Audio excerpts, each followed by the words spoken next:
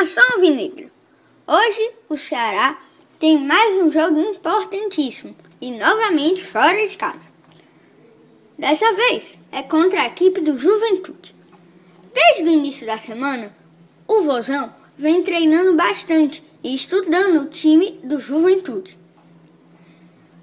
Os jogadores do Vozão e o treinador Marcelo Chamusca falaram um pouco sobre o jogo de hoje e também sobre o objetivo do nosso time esse ano: o acesso à Série A.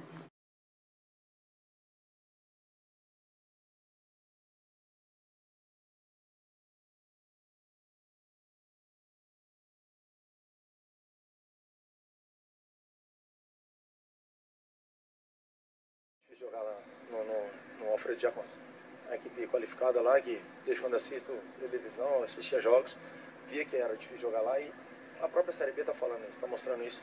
É um dos melhores mandantes da competição, então a gente sabe que está tendo uma troca de treinador, então isso muda o ímpeto dos jogadores, os jogadores pegam um gás a mais, então é a gente tomar cuidado.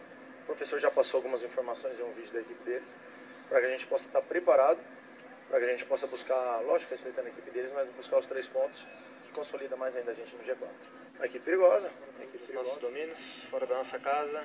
É, assim como foi diante do, do Inter, temos que é, fazer um jogo de concentração máxima, os 90 minutos. É, acho que o nosso, o nosso objetivo ele, ele está próximo, ainda não está é, decretado, mas temos totais condi condições de, de conseguir né, esse objetivo. Então, em busca disso que a gente está entrando dentro de campo cada jogo, cada momento, para que a gente não, não, não venha após o jogo ficar lamentando, a gente tem que fazer tudo e o melhor possível dentro É um bom momento na competição, num, numa fase decisiva, né? Funilando. Eu acho que foco e concentração no próximo adversário. Sempre pensando e preparando para os próximos 90 minutos. Isso tem sido, tem sido uma receita que tem dado muito certo e assim nós vamos continuar. Importante. Hoje... O Ceará irá transmitir em seu ginásio novamente o jogo. Terá a presença do mascote oficial e as vovozetes, bandas, food trucks, área especial para criança e também estará vendendo os ingressos para o jogo do Ceará contra o Guarani na semana que vem.